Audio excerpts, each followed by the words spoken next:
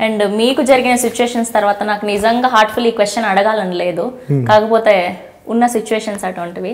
So Tamannaah Simhadri గారు eliminate అయిపోయిన తర్వాత మీ గురించి కొన్ని పాజిటివ్ కమెంట్స్ చేశారు. సో దాని గురించి మీరు ఏమంటారు? మీరు చూసే ఉంటారు మీ ఫ్రెండ్స్ చెప్పే ఉంటారు. యాక్చువల్లీ నేను చూడలేదు బట్ నాకు తెలుసు. అంటే ఆ, తమన్నా గారు ఏంటంటే ఆ నిమిషం అలా రియాక్ట్ అయ్యారు తప్ప నాతో ఫస్ట్ వీక్ అంతా బాగానే ఉన్నారు.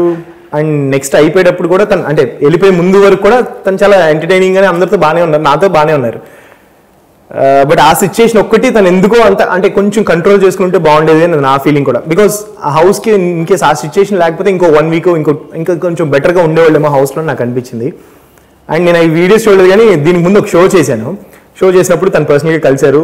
షోలో తను కూడా పార్టిసిపేట్ చేశారు. ఆ టైంలో వచ్చి సారీ నేను పర్సనల్గా ఏమనలేదు బట్ ఆ నిమిషం నాకు ఎందుకు అనిపించింది అలా రియాక్ట్ అయిపోయాను. But I'm really sorry if I hurt you personally అని చెప్పి చెప్పారు. సో నాకు మంచిగా అనిపించింది.